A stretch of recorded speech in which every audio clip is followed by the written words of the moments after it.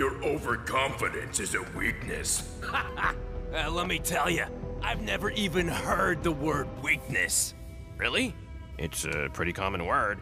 No, I, I, I mean, I just don't know what that word means. Seriously? I, I can explain. Weakness, noun, the quality of. Go away.